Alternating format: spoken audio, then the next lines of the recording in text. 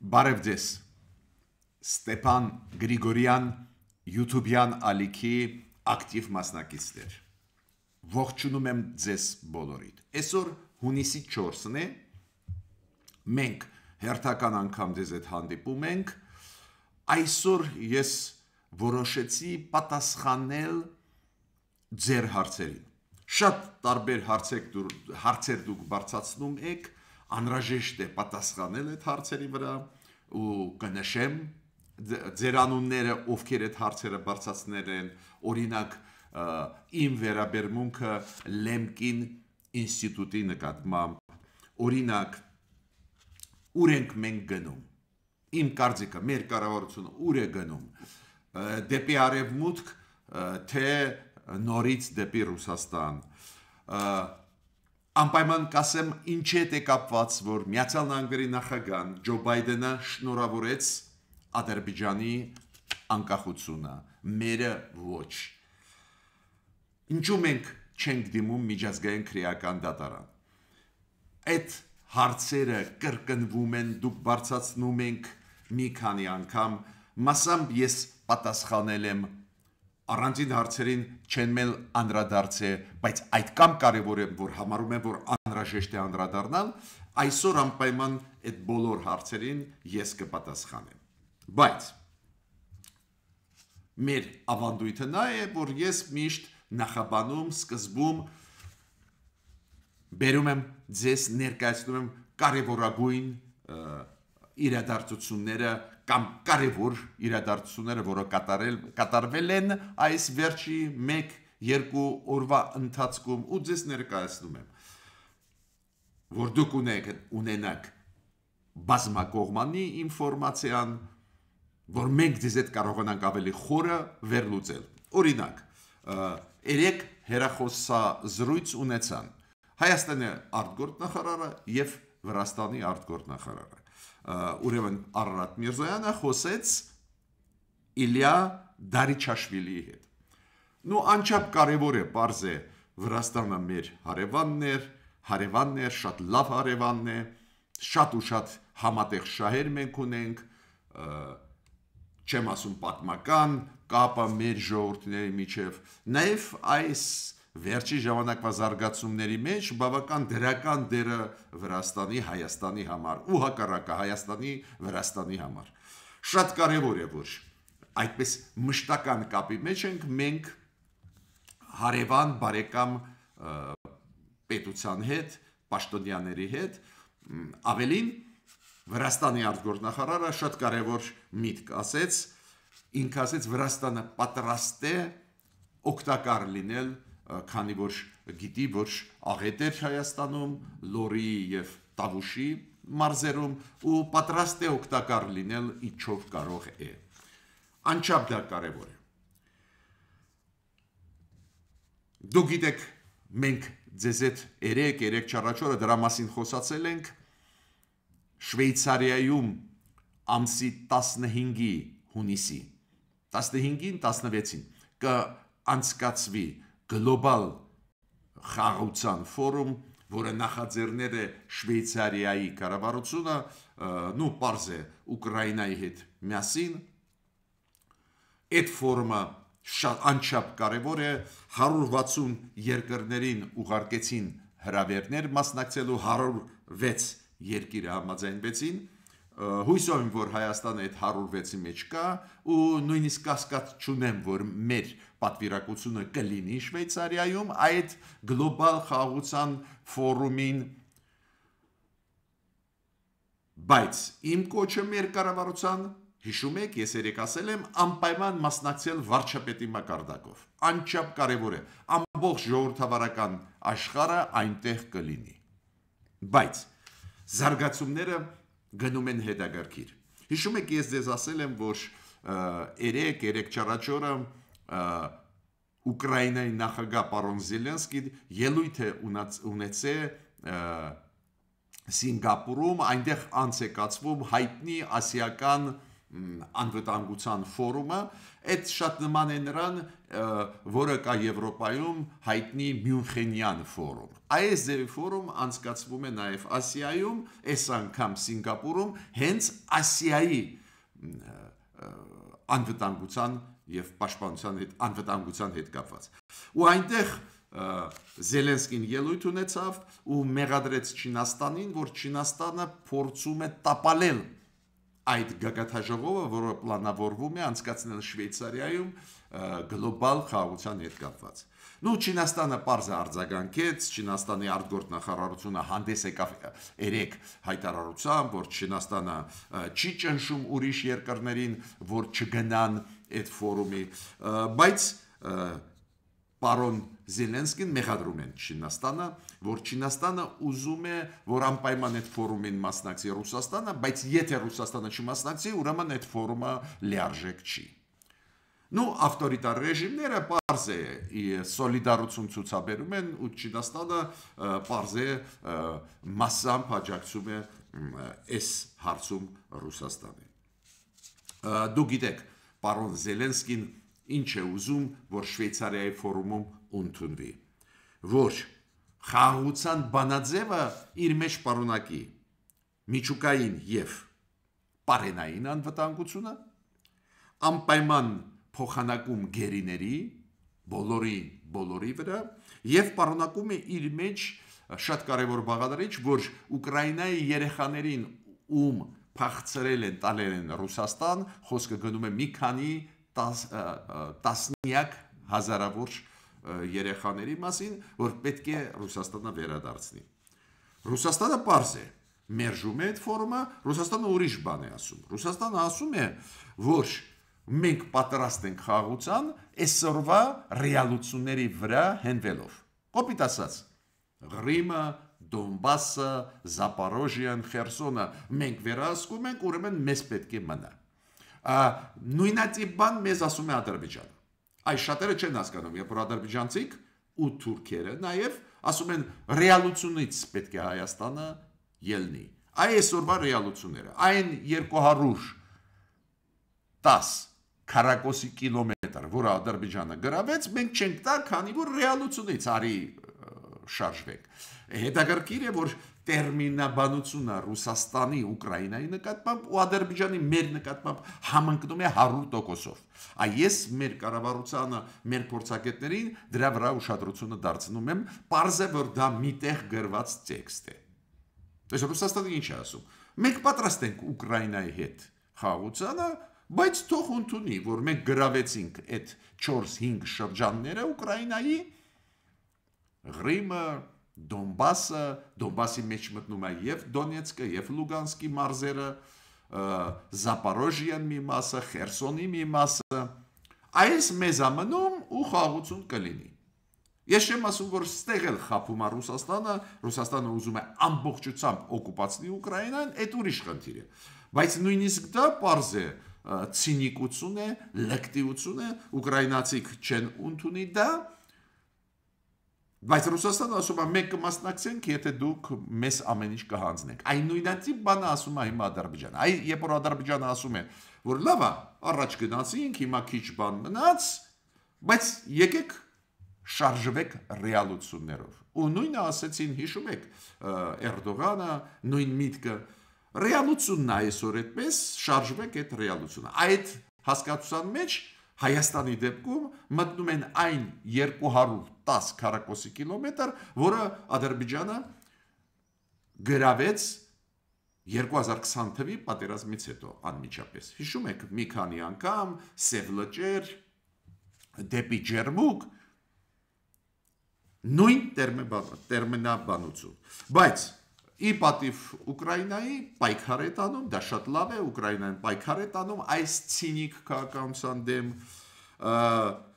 Ես ինչքան հասկանում եմ, Չինաստանը եւ Բրազիլիան հրաժարվեցին մասնակցել Շվեյցարիայի այդ խաղաղության գագաթաժողովին ֆորումին Սաուդյան Արաբիան նաև ասաց, որ չի մասնակցելու բայց ընդհանուր առմամբ աշխատանքը գնում է բավական ներկայացական այդ ֆորումը կլինի 100-ից ավել ես նոր ասեցի 106 երկրներ համաձայնություն տվեցին ու մեծ մասը երկրների զգալի մասը կլինեին առաջի կամ երկրորդ դեմքերով օրինակ միացյալ նահանգները հայտարարեցին որ Միացյալ Նահանգները կմասնակցեն Շվեյցարիայում ամսի 15-ին հունիսի այդ գագաթաժողովին, որտեղ որ պատվիրակությունը կգլխավորի փոխ նախագահ Միացյալ Նահանգների Կամալա Հարիսը եւ պատվիրակության մեջ կլինի նաեւ Ջեյք Սալիվանը, դուք գիտեք, ինքը ազգային անվտանգության հարցերով խորհրդականն է Բայդենի։ Ես ինչի մանրամասն սրա մասին խոսում եմ, դա ուղղակիորեն առնչվում է մեզ հետ։ Ինչքան թուլանա Ռուսաստանը, այնքան մեր շանսերը պաշտպանել մեր տարածքը կմեծանա։ Ռուսաստանը ուզում է փոխել միջազգային նորմերը, միջազգային խաղի կանոնները։ Ռուսաստանը ասում է, ինչի եք շարժվում ՄԱԿ-ի կանոնադրությունով տարածքային ամբողջականություն եւ այլն։ Եկեք շարժվեց ռեալություններով։ Այսօր մեր զորքերը Դոնբասում են, ուրեմն դա մերն է։ Ինչը ասում է Ալիևը։ Իլխամ Ալիևն ասում է ռեալություններից ելնելով, հայեր այ մենք դեմարկացիա դելիմիտացիա անում ենք, բայց այն ռեալությունը արի հաշվի առնենք։ Մի քիչ փոխվեց վերջի ժամանակներս տերմինաբանությունը, մի փոքր դա կապված է ուղակի կոշտ ճնշման հետ, որը տանում են Միացյալ Նահանգները եւ Եվրոմիությունը Ադրբեջանի դեմ, որ խաղաղությունը Հայաստանի հետ հաստատի ավելի հավասարը հավասարի հետ։ Չինաստանը, որը աջակցում է Ռուսաստանին այս հարցով, հիմա պահանջում է փոխհատուցում։ Չինաստանը ուղղակիորեն երեք բարձրացրեց հարց, որ գազը, որը Չինաստանը առնում է Ռուսաստանից, բավական մեծ քանակությամբ, այդ գազը, որը Ռուսաստանը Չինաստանին տալիս է 257 դոլարով 1000 խորանավ մետրի դիմաց, այդ գազը եվրոպացիներին տալիս են ավելի թանկ, մոտավորապես 50 դոլարով թանկ, 320 դոլարով 1000 խորանարդ մետրի դիմաց, հիմա Չինաստանը ասում է, չէ, դու տալիս ես ավելի էրժան Եվրոպայի համեմատ, բայց դու պետք է տաս մեզ քո ներքին շուկայական գներով, քո երկրի ներ, ներսի։ Դա շատ հետաքրքիր է, Էտենց էլ Ռուսաստանը ցածր է տալիս Չինաստանին, որ Չինաստանը այս պայքարում արևմուտքի դեմ չանցնի արևմուտքի կողմ լինի Ռուսաստանի, բայց Չինաստանը ասում է, չէ, մենք այդքան մեծ քեզ ծառայություն ենք մատուցում, դու պետք է իջեցնես գները։ Այդ չինական քաղաքականություն, այդ հզորությունը կարծես թե մի կողմից աջակցեցին Ռուսաստանին, մյուս կողմից ասում են չէ, դա ձերի չի լինում Ռուսաստան։ Այ in սխալները, որոնք մենք արել ենք, ես տեսնում եմ ոնց չեն անում հզոր պետությունները Չինաստանի պես։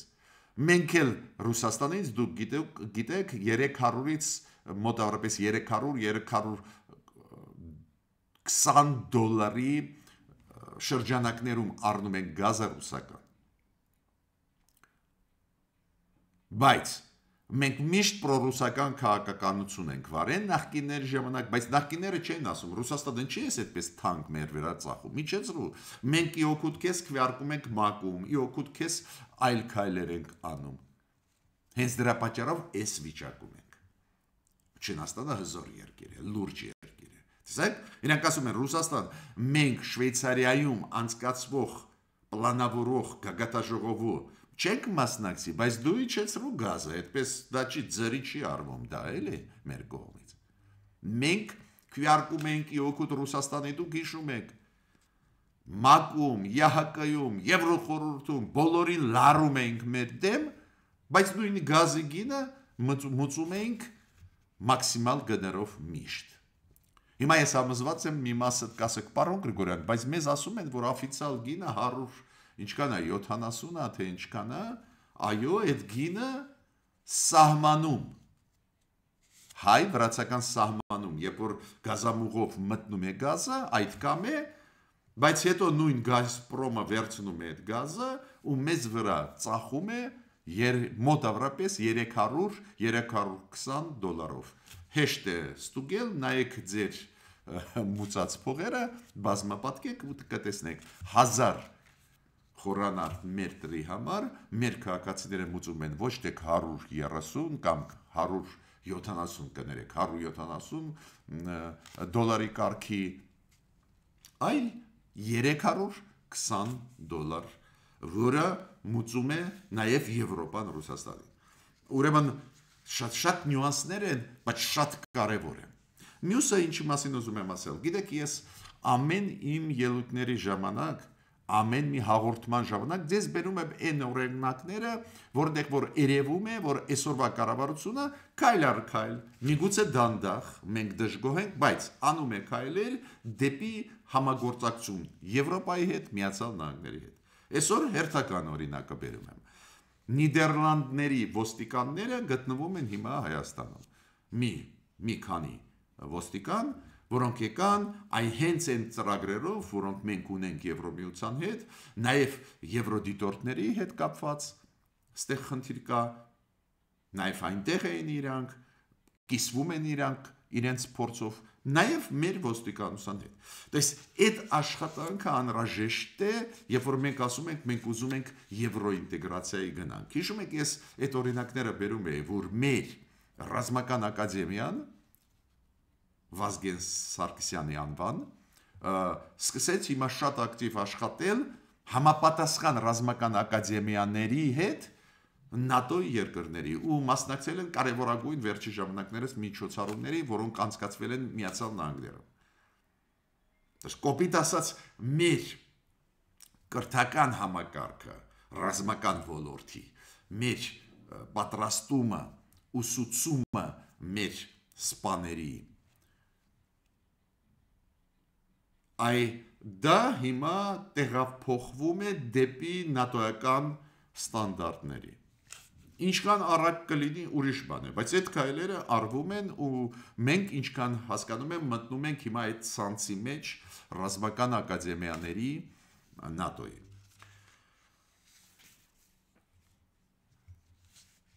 Բայրամովը հանդիպեց Լուի Բոնոյի հետ Բաքվում Նո ամերիկացիք դու գիտեք, միշտ ակտիվ են, ակտիվ փորձում են մեզ ու Ադրբեջանին աջակցել, որ խաղաղություն հաստատվի։ Պարզ է, նաև դա իրանց շահերից բխում է խաղաղությունը մեր տարածաշրջանում, դա ավտոմատ թույլատնում է Ռուսաստանի ազդեցությունը, քանի որ Ռուսաստանը ամեն ինչ անում է, որ Հայաստանը Ադրբեջանի հետ իրար հակցնեն, իրար հակնեն, իրար մորթեն, սպանեն եւ այլ եւ այլ։ Էսա Ռուսաստանի շահը որ անընդհատ մեր մեջ լինեն խնդիրները, դուք տեսնում եք ինչքան ակտիվ Ռուսաստանը վերջի 2 տարի է աջակցում էր Ադրբեջանին, որ Ադրբեջանը մտնի մեր տարածք, ինչու՞։ Քանի որ Ռուսաստանում կար որոշում հանձնել Լեռնային Ղարաբաղը Ադրբեջանին, բայց Ռուսաստանը ուզում էր, որ կոնֆլիկտի գոտիներ լինեն։ Ու massամբ հասավ իր ուզածի, Ադրբեջանը գրավեց մոտավորապես 210 քառակոսի կիլոմետր մեր տարածքից ու դա parze խնդիր է առաջացնելու մոտ ժամանակներս Ադրբեջանի հետ։ Դուք Ադրբեջանը պարտավոր է վերադարձնել այդ էլ դելիմիտացիա դեմարկացիայի process-ի սկսելուց հետո։ Բայց այս ձևի հարցեր միշտ խնդրեմ են։ Ռուսաստանը միշտ ուզում է, որ մենք ունենանք խնդիրներ, Միացյալ Նահանգները հասկանում եմ, եթե չլինեն խնդիրներ, եթե խաղաղություն հաստատվի Հայաստանի Ադրբեջանի միջև, Ռուսաստանի լծակները կփոքրանան։ Ուրեմն միանշանակ է, որ մեր շահերը Միացյալ Նահանգների հետ ստեղ այս հարցերում համընկնում են։ Ու դա շատ լավ է։ Ու շատ հետաքրքիր էր այն հաղորդագրությունը, որը տվեց Ադրբեջանի արտգործ նախարարությունը այդ Բայրամովի հանդիպումից հետո Լուի Բոնոյի դե իրանք իրանք ուզած ձևով են, չէ, ներկայացնում, օրինակ Բայրամով ասեց, տեսակ մեզ վերադարձրեցին 4 գյուղեր, որոնք օկուպացված են, տեսակ մեզ վերադարձրեցին երկկողմ երկխոսության ժամանակ, բանակցությունների ժամանակ։ Ուրեմն երկկողմը մենք պետք է զարգացնենք, Պարզ է փորձում են ծրել Միացյալ Նահանգների նախաձեռնությունները, օրինակ Վաշինգտոնում, որ հանդիպեն մեր ու Ադրբեջանի արտգործնախարարները, դες իրանք առաջ են բերում իրանց ուզածը, իրանց շահը Ես իրանք ասում են երկողմը Հայաստանի հետ մեզ շատ ձեռնտու է։ Նու դու գիտեք, ես միշտ ասել եմ, ոչ մի դեպքում չի կարելի հրաժարվել նաև երկկողմ բանակցությունների Ադրբեջանի հետ, բայց չխափենք իրան, Ադրբեջանի թիկունքում կոշտ կանգնած են Ռուսաստանն ու Թուրքիան, ուրեմն դա բարախաղեր են, երբ որ Բայրամովը ասում է, տեսակ երկկողմում Ուրեմն մեր քաղաքականությունը պետք է լինի անպայման ներգրավել արևմուտքը այս կամ այն կերպով այդ բանակցային process-ի մեջ ու այն որ Լուի Բոնոն ակտիվ ակտիվ այդ քաղաքականությունը վարում է Երևան, Բաքու, Բաքու, Երևան, դա միայն կարելի է ողջունել։ Հապկը, է որ հապկը չէր կարող կողք կանգնած լինի, իրոք հապկի պատվին շատ է խփում, որ Հայաստանը սառեցրեց իր մասնակցությունը, ու հապկը անընդհատ հիշեցնում է իր մասին։ Ու ուղակի երեք հայտարարությունով հանդես եկավ հապկի գլխավոր քարտուարը ու ասեց, որ մենք հույսով ենք, որ Հայաստանը մոտ ժամանակներս պարզություն կմտցնի։ Ինքը ինչ է անում հապկի հետ աշխատում է չի աշխատում փաստը մնում է փաստ որ հիմա Հայաստանը հապկի անդամ է բայց պարզություն եթե մտցնի շատ լավ կլինի հապկի համար ես պետք է ասեմ որ հա ու parze հիշեցրեց որ մենք հապկի անդամ ենք ունենք պարտավորություններ իրավունքներ էլ ունենք բայց պարտավորություն ունենք ես դες մի քանի անգամ ասել եմ որ իմ կարծիքը ժամանակը եկավ այն ամեն հապկից դուրս գալ իշխանությունները ինչի է մտածում, կասկածում դուրս գալ, դուրս չգալ, ինչ որ այսպես ծանր բաների մեջ է գտնվում։ Դժվարանում եմ ասել, այստեղ օբյեկտիվ, սուբյեկտիվ պատճառներ կան, բայց պետք է դուրս գալ, քանի որ հիմա սկսեցին մեզ մեղադրել, օրինակ Ռուսաստանը ի պաշտոդե մեզ մեղադրում է ինչու։ Ռուսաստանը ի պաշտոն է արտգործնախարարությանը ներկայացուցիչները իրանք իրանք մեղադրում են մեզ նրանում որ մենք չենք կատարում մեր պարտավորությունները հապկի շրջանակներում մենք հապկի դե յուրե անդամ ենք մենք անդամ ենք ֆորմալ մենք անդամ ենք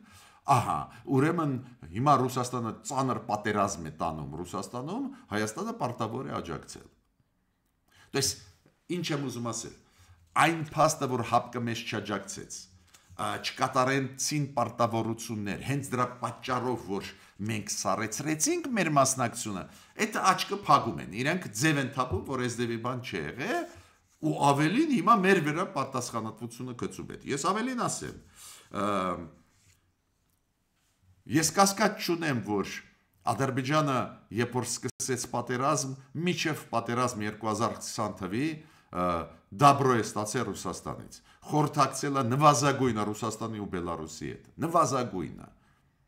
Չեր համարցակվի այդպես հեշտ, այդպես լկտի պատերազմով լուծել հաշվի առնելով բացասական կարծիքը աշխարհի ուժով լուծելու կոնֆլիկտի խնդիրները։ Իրանք հապկի պետությունների հետ հիմա լեգալացլեցին օֆիցիալ ցույց տվեցին, որ բոլորի առանց բացառության բոլորի հետ հապկանթամների բացի Հայաստանից ունեն ռազմավարական համագործակցություն, ստորագրում ստորագրում են իրար հետևից պայմանագրեր, բայց ոչ ֆորմալ, ոչ ֆորմալ իրանք ունեին 2020 թվից այդ համագործակցությունը հապկի երկրների հետ ես ոչ մի կասկածություն գամ Ռուսաստանի ու Բելարուսի դեպքում ուղղակիորեն իրանք խորթակցել են ու նոր հա հարցակվել են Հայաստանի վրա։ Ա ուրեմն դուրս գալը իրոք դառնում է օրակարգային ու շտաբ պետք է դուրս գալ հապկից։ ՀԱՏՄ-ի մասին։ Հիմա նույն տենդենսը մենք տեսնում ենք ՀԱՏՄ-ում։ Եթե նախկինում մենք տեսնում էինք, որ մի երկիր հապկի, մյուսը սկսում են ռազմավարական համագործակցություն Ադրբեջանի հետ, օրինակ Ռուսաստանը 2022 թվից փետրվարի փետրվարից 2022 թվի նույն նույն Բելարուսը այս վերջի օրերս Տաջիկստանը ստորագրեց ռազմավարական համագործակցություն Ադրբեջանի հետ։ Մենք այդ տենդենսը տեսել ենք ու զարգանում է։ Հիմա սկսվեց տենդենս հրավիրել Ադրբեջանին ԵԱՏՄ-ի միջոցառումների։ ԵԱՏՄ-ի, ԵԱՏՄ-ի անդամը մենք ենք, Ադրբեջանը չի, բայց հիմա օրինակ 3 անցկացված ԵԱՏՄ-ի կառավարությունների ղեկավարների նիստի հրավիրեցին Ադրբեջանի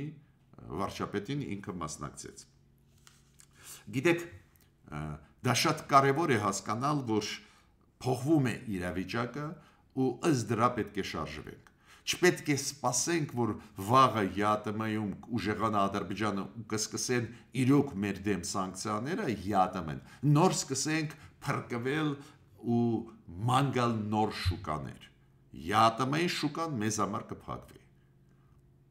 Պես մի քիչ առաջ պետք է հաշվարկ անել, քանի որ ինչի Ադրբեջանին պետք է հրավիրեին ԵԱՏՄ-ի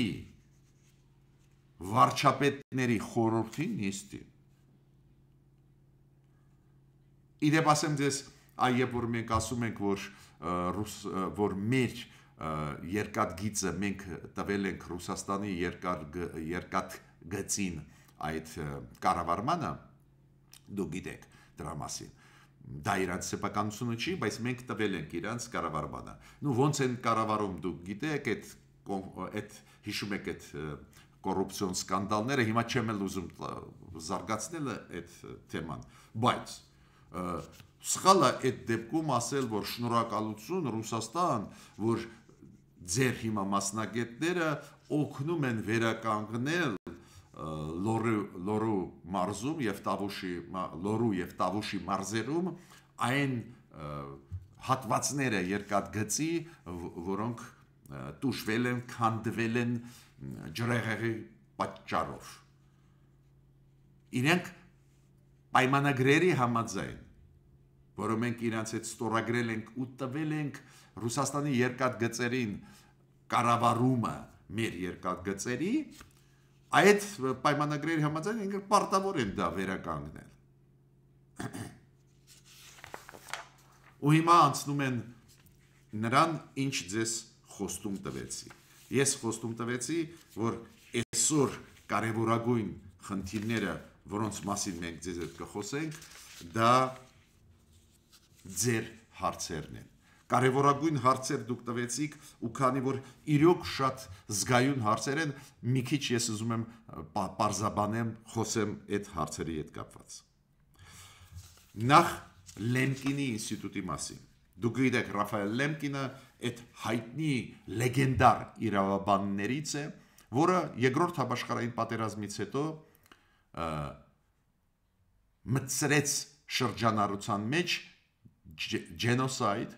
գենոցիդ այդ բառը։ Մենք ասում ենք ցեղասպանություն, բայց միջազգայինորեն ճանաչված տերմինը դա genocide է։ Ու այդ գաղափարա խոսությունը, մոտեցումը, ինչ է նշանակում, ինչ չափարոշիչներ ցույց են տալիս, որ դա ցեղասպանություն է եւ այլ եւ այլ այդ լեգենդար մարդն է արե Մակով Մակով անցկացվեցին համապատասխան կոնվենցիաները ցեղասպանության հետ կապված ցեղասպանության կանխարգելման հետ կապված եւ այլ եւ այլ ու այդ իր ինստիտուտը ստեղծված իրոք ակտիվ աշխատում է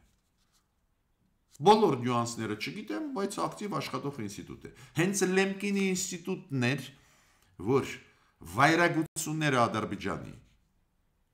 Լեռնային Ղարաբաղի դեմ միշտ քննադատում էր։ Հիշեք,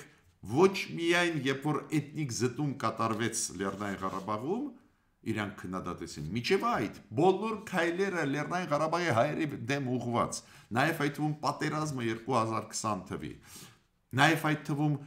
շրջափակումը, բլոկադամ Լեռնային Ղարաբաղի։ Իրանք լրջագույն հայտարարություններով հանդես են եկել, տարածել են, աշխատել են միջազգային կառույցներում։ Ուրեմն լուրջ ինստիտուտ է։ Ինչու ձեզ մոտ, օրինակ Աննա Կիրակոսյանի մոտ, այլ մարդկանց ում ազգանունները գրված չէին, բայց ելի մարդիկ կային, որ այդ հարցը բարձրացնում է, ինչու առաջանում է հարց իմ կարծիքը, որ ես ասեմ, ճիշտ ասած զարմացած եմ առանց ինձ էլ կարող եք մտնել ճշտել որ այդ ինստիտուտը ակտիվ աշխատող ինստիտուտ է ու ի օգուտ Լեռնային Ղարաբաղի հայերի ինքը ելույթներ ունեցել է։ Ավելին այդ ինստիտուտը բնորոշել է այն ինչ կատարվել է անցած տարվա սեպտեմբերին Լեռնային Ղարաբաղի հայերի դեմ, բնորոշել է ոչ միայն որպես էթնիկ զտում, նաև ցեղասպանության շարունակություն, որը եղել է հայերի դեմ 2000 1915 թվականին։ Բայց ես կրահում եմ, ինչու Աննա Կերակոսյանի մոտ այլ մարդկանց մոտ ակտիվ գրագետ այդ հարցը մտահոգությունը Լեմկինի ինստիտուտի հետ առաջացել է։ Քանի որ Լեմկինի ինստիտուտը նաև արեց այս վերջի ժամանակներս նաև երեք արեց հայտարարություններ մարդու իրավունքների հետ կապված Հայաստանում, որ բողոքի ակցիաներ անցկացնող մարդիկ իրավունք ունեն ազատ բողոքի ակցիաներ անցկացնել Հայաստանում։ Ես կրահում եմ ինչուց առաջացավ ձեզ մոտ այդ հարցը ինձ, որ ինչու Լեմկինի ինստիտուտը կոպիտ ասած մեր դեմ է։ Ոչ, մեր դեմ չի, այդ ինստիտուտը ֆիքսում է ոչ միայն ցեղասպանության փաստերը, նաև խախտումները մարդու իրավունքների ոլորտի։ Ու քանի որ իրանց համար Հայաստանը շատ կարևոր է, իրանք կոպիտ ասած աղազանգում են, որ այն շարժումը, որը այսօր կա անդիմադիր, իր դեմ չի կարելի կիրառել անչափ մեծ, ասենք, ուժ եւ այլ եւ այլ։ То есть իրանք իրանք ունեն բողոքելու Հայաստանը դեմոկրատական ճանապարհով գնացող երկիր է եւ այլ եւ այլ։ Ես կարծում եմ դա ձեզ դուր չեկավ, դրա համար հարցնում եք Լեմկինի ինստիտուտի մասին կարծիքը։ Ուրեմն Լեմկինի ինստիտուտը միշտ հստակ դիրքորոշում ուներ մեզ համար բավական դրական, ինչ վերաբերում է իրանց դիրքորոշմանը այս վերջի process-ների հետ կապված պետք է ասեմ, որ իրանք ունեն դիտորդներ, ովքեր ուսումնասիրում են իրավիճակը ու առանձին դեպքերում այն խախտումները, որ կան, նաև ֆիքսում են։ Դա է պատճառը, որ ես ասում եմ մեր իշխանություններին։ Այո, այս ընդդիմադիր շարժումը, որը կա, իր մեջ պարունակում է եւ սկզբունքային ազնիվ մարդկանց, ովքեր դժգոհ են դելիմիտացիայի դեմարկացիայի process-ից, բայց նաև այդ շարժման մեջ լիքը կան 5-րդ շարժության ներկայացուցիչները, որոնք հատուկ միտումնավոր դերթում են ոստիկաններին բռնությանը։ Սադրանքներ են անում։ Դա էլ կա։ Ուրեմն պետք է սովորես, այո, այս բարդ վիճակում սովորես աշխատել, որ միջազգային հայտնի կազմակերպությունների մոտ, նաև Freedom House-ի մոտ, ովքեր բավական խիստ մեզ քննադատեց ինչ որ ժամանակ առաջ բռնությունների, ովքեր որոնք եղել են այդ բողոքող մարդկանց կողմից։ Միտքս ինչու է։ Պետք չի նեղանալ, ուղղակի մենք պետք է սովորենք, այո, հիբրիդային է կյանքը։ Ես հասկանում եմ, դուք հիմա ինձ ասում եք, բայց այնտեղ սադրանքներ էին, միտումնավոր սադրում էին ոստիկաններին։ Այո, ճիշտ է Բայց պետք է սովորենք, պետք է սովորենք հիբրիդային իրավիճակներում տակից դուրս գալ ժողովրդի լեզվով ասել։ Այդպես մեկուսացնել մեկուսացնել սադրանքներ կատարողներին, որ ստվերջ գցես քո ժողովրդավարության վրա, որ տարանջացես կարողանաս այն ազնիվ մարդուն, ով իրոք դուրս եկա փողոց ազնիվ մղումներով, դժգոհ լինելով կառավարության քաղաքականությունից։ Մյուս հարցը, որի մասին ուզում եմ ասել, այդ հարցը շատերը տվել են տարբեր կոնտեքստներով, տարբեր կոնտեքստներով, տարբեր կոնտեքստներով, օրինակ, Ստեփան Ռապյանը, Ռապյանը ինչ ասում։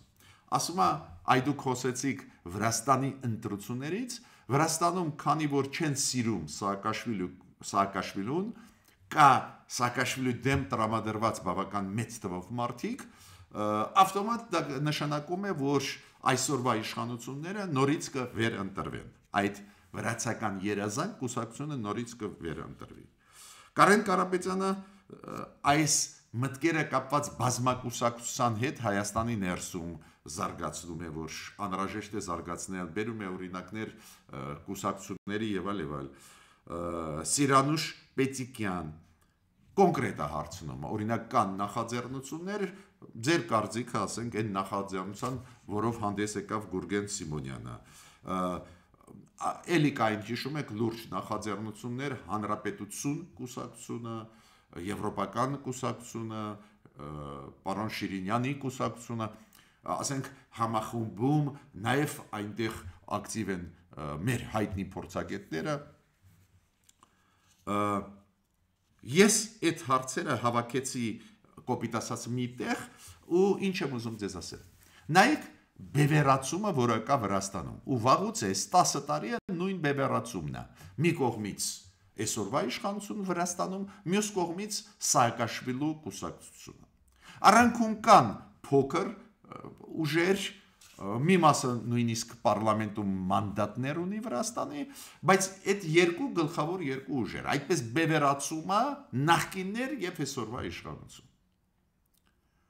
Այո, ես համաձայն եմ, դա ոչ մի լավ բանի չի բերում, ու նույնը մեզ մոտ է, չէ՞։ Պարլամենտում ինչ մենք ունենք։ 3 ֆրակցիա ունենք։ Նիկոլ Փաշինյանի կուսակցությունն է, քաղբայմանագիրը եւ երկու ֆրակցիաներ պրոռուսական նախկինների հետ առնչվող։ Նորից բևերացում նախկին այսօրվա։ Ու པարզ է, որ իրոք օգտակար կլինի, եթե եթե ինչ որ ինչ որ ստեղծվեն կոալիցիաներ։ Այդ տենդենսը մենք տեսնում ենք, ու ես նոր ասեցի, երկու այդ նախաձեռնությունների մասին միանշանակ ես ողջունում եմ այդ նախաձեռնությունները ինչու եթե պրոդեմոկրատական ուժերը ուժեր ովքեր տեսնում են Հայաստանի ապագան Եվրոմիության հետ ովքեր տեսնում են մեր անվտանգությունը Եվրոատլանտյան անվտանգության շրջանակներում ինչքան այնտեղ խմորումներ, համախմբումներ գնա, իմ կարծիքով դա միանշանակ դրական է։ Ուրեմն ձեր ասած եւ անունները եւ ուժերի մասին ովքեր համախմբում, ես դա շատ դրական եմ համարում։ Նայեք զարգացումները նայենք այլ խաղացողներ կան դու գիտեք որ ոչ միայն այն ուժերն են ովքեր հստակ դիրքորոշում ունեն ու երկար տարիներ պայքարում են դեպի եվրոինտեգրացիան, կան ինչ որ նոր ուժեր, առանձին դեպքերում չգիտես գլխավոր նպատակը որն է, բայց նոր ուժեր, նոր ինչ որ կարող է լինեն կոալիցիաներ, նայն զարգացումները, բայց ձեր ցանկությունը տեսնել երրորդ, չորրորդ խաղացողներին ես կիսում եմ։ Դες այսօրվա իշխանությունը կա, այս նախկինները կան, իրանց 20%-ը իմ կարծիքով կունենան, բայց նաև պետք է որ հենց դեմոկրատական դաշտում ձևավորվեն 1-2 այս ձևի կոալիցիաներ։ Միանշանակ ես դրական եմ համարում դա ու դրական եմ համարում, որ առանձին փորձագետները ճանաչված հեղնակություն ուդեցող այս կամ այն նախաձեռնություններին ուզում են աջակցել։ Դա էլ է դրական Հիմա մյուս հարցը, որը իրոք շատ ծանր են տանում մարդիկ, շատ ծանր, քանի որ եւ հոգեբանական հիմա վիճակը ծանր է մեր հանրությունում, մեր երկրում, Հայկուի Կուզունջան, Կուզունջան, Մարիան Հակոբյան, Տե Պետրոսյան, Մարգարիտա Մինասյան, Կարինե Կարան, գիտեք, մարդիկ Մարինե Խաչատրյան մարդիկ Սայաթ Նովաթամարյան մարդիկ իրոք ինտելեկտուալ մտածող մտահոգված են մենք գնում ենք դեպի Եվրոմիություն թե ոչ թե այս ամեն ինչը խաղ է բերում են փաստարկներ նաև հենվելով հայտնի իմ կողմից հարգված փորձագետներին ովքեր ասում են չէ, այս խաղը չեն գնում, չեն անում գործ եւ այլ եւ այլ։ Ու իրենք ասում են ո՞նց եք դուք կարծում, գնում են թե չեն գնում դեպի Եվրոմիություն։ Ճիշտ ճանապարհով են գնում ինչու մեր փորձագետների մենք տեսնում ենք տարաձայնություն իրանք մեզ լսում են փորձագետներիս պրոդեմոկրատական, պրոեվրոպական ու տեսնում են, որ տարաձայնություններ կա։ Դու առաջինը ես ձեզ ուզում եմ բոլորիդ ասել։ Պետք չի վախենալ, որ նաև մարդիկ, ովքեր միանշանակ կողմնակից են, որ Հայաստանի տեղը Եվրոմիությունն է, որ Հայաստանը պետք է ակտիվ աշխատի Միացյալ Նահանգների հետ, Կանադայի հետ, որ Հայաստանը պետք է Ֆրանսիայի հետ ստորագրի ռազմական ստրատեգիկ համագործակցության պայմանագիր, նույնը Ամերիկայի հետ պետք է անի։ Պետք չի զարմանալ, որ մեր մեջ կարող են լինել այլ հարցերում տարաձայնություններ։ Օրինակ, ես տեսնում եմ, որ նույնիսկ նույն փաստը մենք առանձին դեպքերում մեկնաբանում ենք տարբեր ձևերով Դա գիտեք, դա գալիս է նրանից, որ ժողովրդավարությունը հենց իր մեջ պարունակում են նա, որ նույնիսկ մարդիկ, ովքեր ունեն ընդհանուր նույն գիծը տարբեր հարցերում այնուամենայնիվ առանձին հարցերում կարող են ունենալ տարաձայնություններ։ Դուք տեսաք ինչքան լուրջ տարաձայնություններ կան հենց դեմոկրատական դաշտում այս տավուշի դելիմիտացիայի դեմարկացիայի հարցերում։ Օրինակ ես տեսնում եմ այնտեղ դրական կողմեր նշելով բացասականը, բայց դեմոկրատական մոտեցում ունեցող այլ մարդիկ նշում են մենակ բացասականը։ Ուրեմն դա ժողովրդավարության հետ կապված խնդիր է նաև։ Բացի դրանից մենք պետք է հասկանանք մեկ բան։ Հիմա սկսվեց սկսվեց փուլ, երբ որ բոլորը հասկանում են։ Այս ձև այս ձևի շարունակել չի կարող, բոլորը հասկանում են։ Եվ փորձագետները, եւ քաղաքական ուժերը այս ձևի շարունակել չի կարող, օբյեկտիվ, սուբյեկտիվ պատճառներով շատ հնարավոր են արտահերտ ընտրություններ։ Չեմ ասում դա ճիշտ է, թե ճիշտ չի, բայց շատ հնարավոր են։ Ու հիմա սկսվում են իրանց դաշտերը զբաղեցնել մարդիկ։ Օրինակ, նույն մարդիկ, ովքեր կողմ են Եվրոմիության, բայց կան մարդիկ, որ համարում են համարում են որ Եվրոմիությանը պետք է առակ գնալ, կան մարդիկ, որ համարում են, որ հա, պետք է գնալ, բայց ռեալությունները ուզած չուզած պետք է հաշվի առնես եւ այլ եւ այլ։ Ու սրացումը, բևերացումը նաև այս դեմոկրատական լիբերալ դաշտում մենք դա տեսնում ենք եւ փորձագետների միջև եւ կուսակցությունների միջև ուրեմն ես կասեի այդպես ես չէի ընկնի ծանր այդ մտորումների մեջ դրա պատճառով այդ օբյեկտիվ տարաձայնությունն է բացի դրանից ինֆորմացիայի կա խնդիր մեկը ունի ավելի շատ ինֆորմացիա, ավելի հեշտ է իրան հասկանալ իրավիճակը, մյուսը ավելի քիչ ունի ինֆորմացիան, տարբեր աղբյուրներով մենք շարժվում ենք, օրինակ նո ակնհայտ երևում է, որ արվում են կառավարության կողմից քայլեր կապված համագործակցության հետ ՆԱՏՕ-ի եւ Եվրոմիության հետ։ Բայց շատ ու շատ քայլեր հրաապարակային չեն ասվում Հիմա այդպես ստացվեց, որ մենք ունենք այդ ինֆորմացիան։ Դա է պատճառը, որ մենք ասում ենք, չէ, մենք էլ դժգոհ ենք, որ արագ չի գնում կառավարությունը, բայց այնուամենայնիվ գնում է։ Երբ որ կներեք ինձ, երբ որ ՆԱՏՕ-ի ինստրուկտորները, փորձագետները անց են կացնում մեր ռազմական ոստիկանությունում տրեյնինգներ ու մի օրվա տրեյնինգ չի էլի։ Դա նշանակում է, որ դու ՆԱՏՕ-ի ստանդարտների massամբ սկսեցիր անցնել Քիչ է թե շատ է, քիչ է, բայց սկսեցիր, որ չես կարող ասել, որ չկա։ Կամ նույն ռազմական ակադեմիայի մասին, երբ որ ես նոր ասեցի Վազգեն Սարգսյանի, ինքը հիմա սկսում է ինտեգրվել ՆԱՏՕ-ի ռազմական ակադեմիաների այդ ցանցի մեջ։ Չգիտեմ, հետևողական կլինեն, թե ոչ, պետք է հետևենք, պետք է աջակցենք։ Դուք գիտեք, որ Եվրոմիությունը հիմա վերականգնում է շատ կարևոր ինստիտուտ։ Advisor-ների ինստիտուտ, այդ խորհրդականների ինստիտուտ, որը անչափ կարևոր է, քանի որ մենք այդ նեղ ոլորտների մասնագետներ չունենք ու որ այդ SEPA կոչված է, այդ պայմանագիրը կարևորագույն ավելի էֆեկտիվ իրականացնեն։ Ուրեմն Ես տեսնում եմ առանձին դրական տենդենսներ, դա նշում եմ, ուրիշ բան է դա, հերիք է թե հերիք չի, բավարար է թե ինչ։ Ու կարևորագույն մի հարցի մասին ուզում եմ ասել։ Իրոք շատերին զարմացրեց նաև Ենիգմա։ Այդ անունով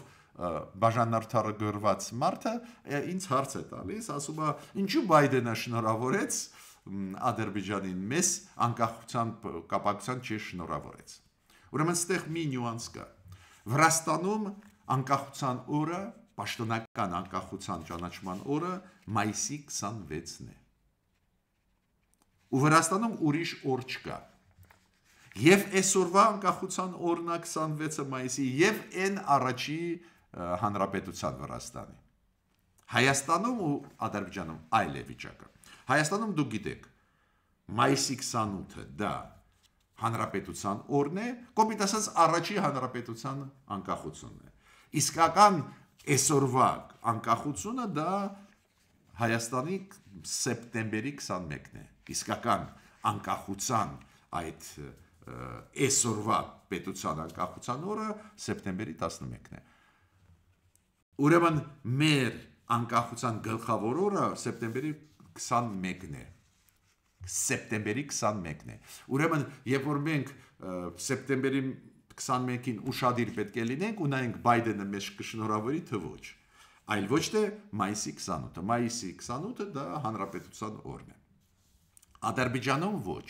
Ադրբեջանում անկախության այս երկրի այսօրվա անկախության օրը մայիսի 28-ն է։ Հենց դրա պատճառով Բայդենը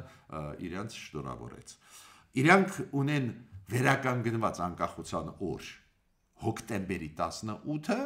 բայց գլխավոր անկախության օրը իրանց մոտ, իրանց համակարգով պետական դա